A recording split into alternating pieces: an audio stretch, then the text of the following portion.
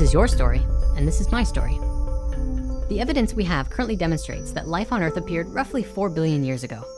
Humans arrived maybe two to 300,000 years ago. Listen to the story, which is yours, and decide what you want to do with it. In truth, this story does not begin on this planet at all, but with a star. A star as beautiful and incredible as all of the other stars in the sky, as amazing as our sun. This star exploded, and in it created a rapid torrent of energy, expanding out in all directions, in all dimensions. From this explosion of energy laid the foundation for new life, new creations, and new manifestations to take place. One such manifestation was our solar system and all of our planets. In the beginning, our planet was a collection of dust and rock particles, a hard-shelled ball. Volcanoes show us what the earth used to look like and how it evolved. Volcanoes became like a furnace, creating water in liquid form through evaporation and heat emerging from within the crust of the earth. Water formed vessels like bloodstreams across the face of the planet, and many oceans became heavy with salt. The mineral and rock formations within the earth gave a means for crystals to form. And crystals contained a natural biological geometry for a higher consciousness to emerge. Where did biological life first spark? Scientists believe primitive life forms called archaeobacteria, blue-green algae was the first form to turn to the sun for energy and reproduce and evolve. They transformed the atmosphere of the planet. Before this time, the atmosphere was rich with carbon. These billions of microorganisms grew from the carbon and the carbon drained from the atmosphere and entered the crust to become what was next. The life spread throughout the water, through water cycles, waterfalls, rivers, oceans. All life drinks the same water, water is essential. Life that grows depends on water. It depends on the sun. The air we breathe comes from the algae. The algae needs fresh water to continue to grow. The engine of life is linkage. In life, everything is connected. Water and air are one. Sharing is everything. In nature, everything is shared. Coral is formed from algae and shells coming together, which provide homes for more fish and other life. Trees took a very long time to grow, they reach upwards towards the sun and are perfect statues as if striving towards higher truth. They have the power to capture life's energy from the sun, turning it into vegetable, wood, and other living matter. From that, new soils are formed. Earth relies on a balance. Every being has a role to play. Every species exists in cooperation and harmony with another species. And this harmony is not easily shattered. Everything is used in nature. Everything has a purpose. How many species are there that we know of? What do we truly know about the bonds that link them all? The earth is a miracle, and to modern science, life still remains a mystery. Today, life is just a link in a chain of innumerable others over 4 billion years old. And within just a pinprick of that amount of time, we, the Homo sapiens, with our tremendous brains and nearly limitless potential, have disrupted that balance completely. What this means is that there's something really magnificent and fantastic about us and we may have dropped the ball a bit. Humans appeared on this planet several hundred thousand years ago, and we have transformed the face of the planet. There are many stories about how it happened. Nobody knows for sure. The ancients speak of sky people who came down and began inhabiting the lands, of lost civilizations and cities which functioned more in tune with themselves. These records come from our ancestors nearly 6,000 years ago, which today we believed was our first civilization. Regardless of where we came from, we can see what has happened since we have arrived. This is what we're going to look at.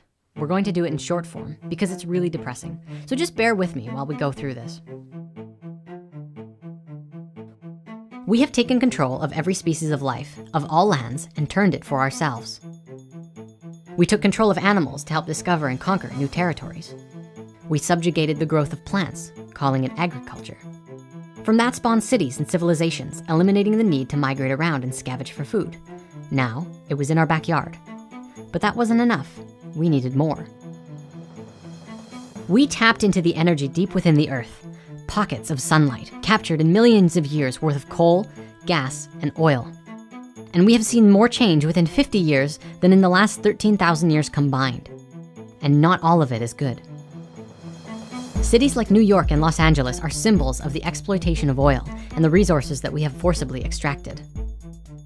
There aren't many farmers left, and the industrialized farming actively poison our foods with pesticides, which in turn poisons us. Don't believe me? Just ask the food workers wearing radiation suits. But how can all of the food demands be met without concentration camps of cattle, where not a blade of grass can grow? Instead of grass, trucks haul in grain that is fed to the cattle to become meat to stuff our faces. Houses are cloned, copied, and standardized, wiping creativity off the map. Everywhere, machines dig, rip, bore, and tear into the earth, faster and faster, without any regard for the millions of years worth of what Mother Earth has been creating. Excessive mining will soon exhaust all of the planet's reserves. A hundred millions of metric tons of fish have been exhausted. Most large fish have been fished out of existence because they no longer have time to reproduce. Globally, water levels are falling. Places like Las Vegas are the biggest consumers of water in the world, where in other places they have none, and women dig aquifers day after day. Deforestation tears up the earth to make way for new factories. In some places, deforestation is a last resort for survival. Every one in six humans live in a crowded, overpopulated environments and don't have access to clean water or even electricity. The current plan, it seems, is to pick every pocket of sunlight and use it all up until there's none left. Even heating the tar sands in Canada is getting consumptuous. The way we burn fuel pumps carbon back into the atmosphere, upsetting the Earth's climatic balance as well. How long can this mirage continue? How long can we continue to fool ourselves into thinking that we can survive on this Earth that we're creating? This is our home. It is our responsibility to ourselves and to everything else on this planet to correct the mistakes that we've made. Now I'd like to make something clear about what's just been shared. What we've been looking at, the poverty, the water levels, the exploitation of oil and raping Mother Earth's body for anything that we can get our hands on. Well, this is often looked at as the cause of what's going on. In truth, this is the result. This is what we've created as a result of what's going on. So what's really going on? This is something we've looked at before in spirit science. This vibe that often feels like a gnashing, gnawing, tearing apart feeling. It feels like it's happening inside ourselves, and most of us don't have any idea of what it is. It's the separation and all of the stuff that comes from it. The fear, the anxiety, the I'm not good enough, the I want to have power over you. All of that is the result of the same thing, the feeling of being separate. The illusion that you are separate and the fear and the hurt that comes along when you think that you are alone. You are not alone. We are not alone. It's time that we recognize that we are the power. We are the planet. We are the ones to create the new world for ourselves. It's not up to someone else. It's not something we need to vote on. It's not even something that we need to wait to do. It's a space that we can come from, a space that we can come to within ourselves. All of the problems of the world could be fixed overnight if everyone could come from that space. In the current world, we lie to ourselves and each other all the time. We tell each other that we can't do it, that we're not good enough. When we lie, every action we take is in defense of that lie. Until we can come to a space where we are honest with ourselves, then we can start to be real with ourselves. When we come from that space, we can come to the table with something new a new space that says, okay, what's going on? How can we fix it? Through conscious conversations with each other, we can think of new ways of doing things. Hey, shut that machine off. It's poisoning us. Done. Hey, let's rewrite our healthcare system. Let's try doing something new that works. Done. Hey, let's make all cars 100% electric. Let's make a way of generating electricity for free. That space you come from that makes that kind of conversation possible is the heart, the unity consciousness, the Christ within, also known as just plain honesty. It's a space that doesn't deny what is real in favor of a more convenient lie. It's a space that is honest about how one feels and what one sees. It's a space that listens with the intention of understanding what another says, rather than just waiting for the other person to stop talking so that you can start talking again. It's a space that's compassionate for all humans, all life, from the best of them to the worst of them. A space that holds all life as a sacred thing and something that can be explored from a space of excitement and freedom. You are not alone. We can make this happen and we can all do it together. We can do it for ourselves and we can do it for each other. We can do it in a way that works. In fact, the only way to do it is to do it together, not on your own, not as the sole leader of the movement, but together.